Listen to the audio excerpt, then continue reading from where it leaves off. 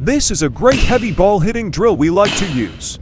After a few warm up swings, we use different weighted and color balls, calling out which to hit once tossed. Ball. Baseball. Heavy. You really need to focus in this drill and make quick decisions. Yellow. Yellow. Hope this helps you out.